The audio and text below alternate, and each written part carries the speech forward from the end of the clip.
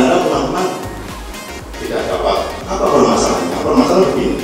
Teman-teman di Babel itu kan kadang-kadang kan kakaknya itu masuknya itu sama ibunya itu jadi bahan pribadinya itu tidak terpapar